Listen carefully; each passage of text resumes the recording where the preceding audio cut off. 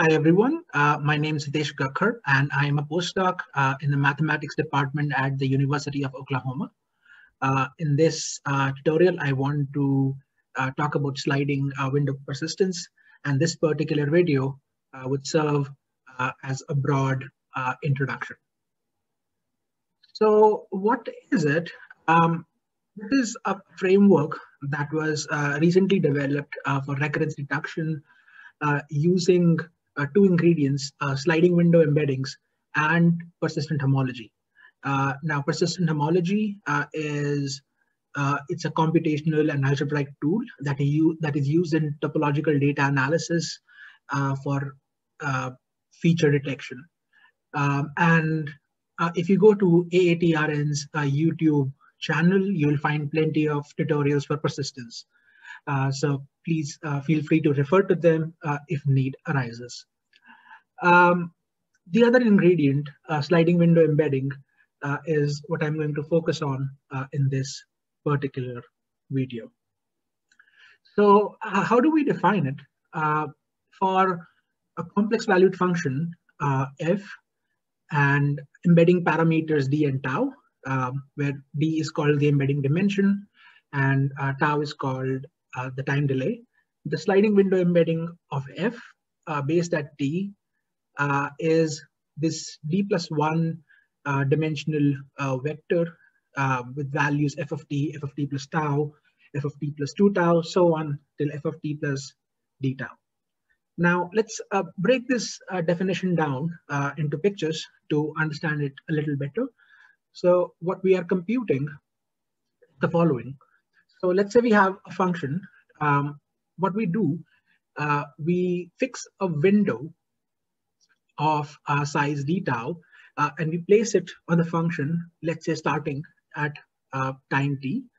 And then when we slide uh, this window to the right, uh, we're going to get these different uh, snapshots. So we have uh, a collection of these snapshots, and that is what we want to study and say something about the function itself.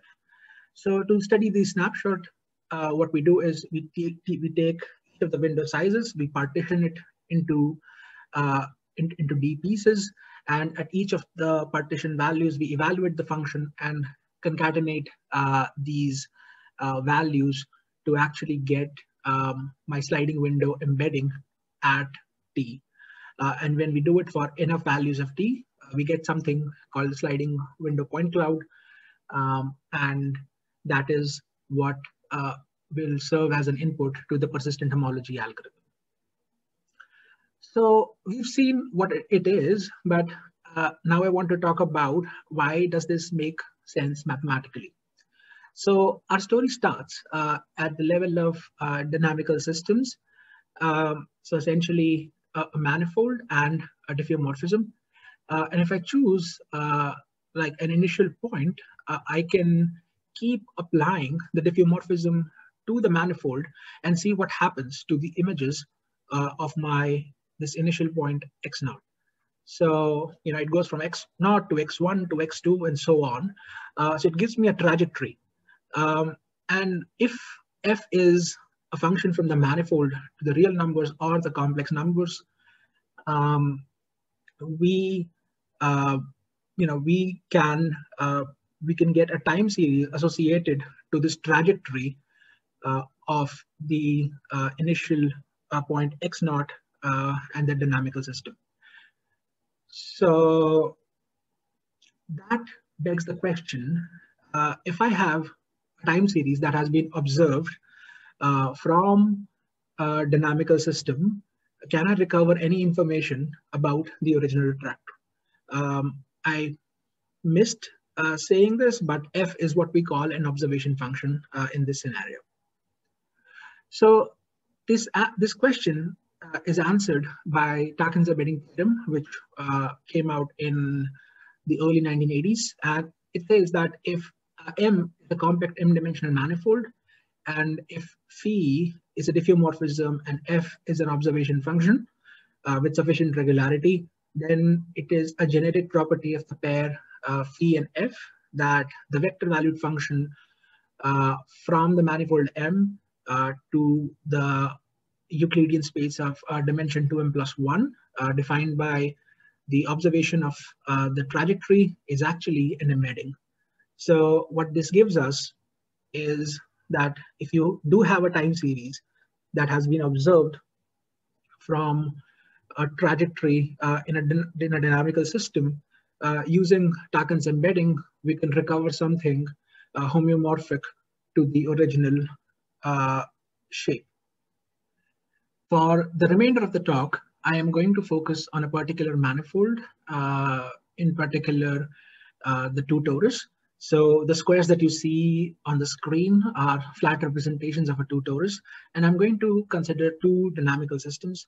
So on the left, uh, in the green color, uh, my dynamical system takes my 0.00 uh, across the manifold uh, with the slope uh, three, uh, and you will see that it you know it actually comes back to the origin.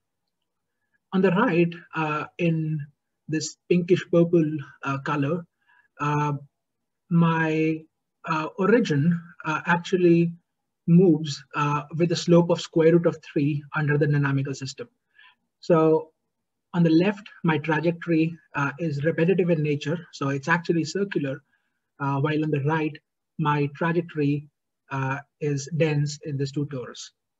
Now, I'm focusing on uh, these dynamical systems on a torus uh, because observations of these dynamical systems actually give rise to recurrent functions.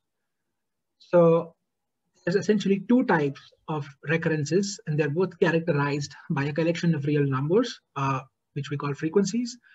Uh, and if it happens that all pairwise ratios are rational, uh, then we get a periodic behavior or a periodic function, for example, cosine of t plus cosine of 3t. Uh, but if at least one of uh, the ratios, uh, pairwise ratios of frequencies is irrational, we get something called quasi-periodicity, for example, in the function cosine t plus cosine square root of 3t. Now, the first function, uh, the periodic function, is an observation uh, of the circular trajectory. Uh, and the second function, the quasi-periodic one, uh, is an observation of the dense trajectory in the two torus.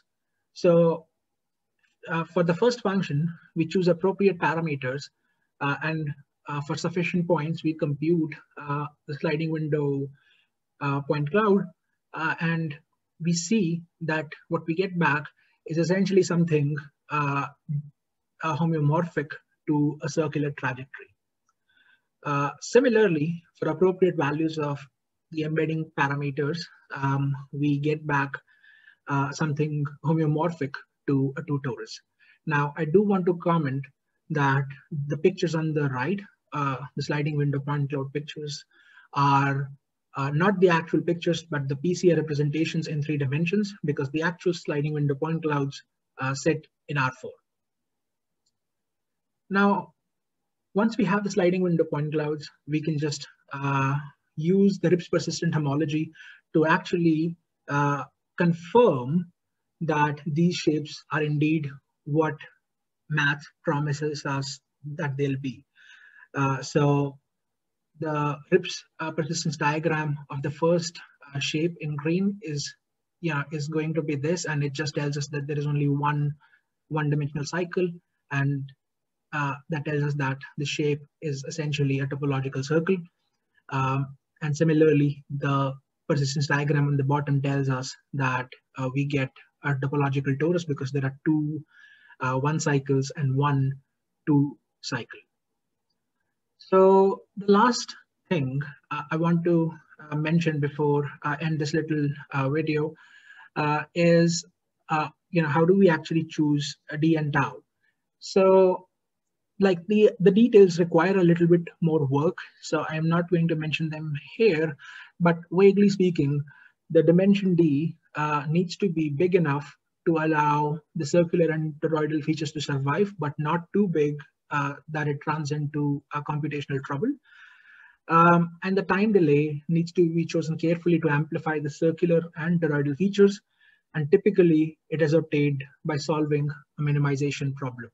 And my understanding is that uh, often uh, you can get like a perfect uh, a perfect time delay uh, for periodic functions, but uh, for quasi-periodic functions, uh, you might not get a perfect uh, choice of tau. Um, and with this, I would like to end uh, this tutorial. I, I, hope things were clear. feel free to email me if there are any questions. thank you.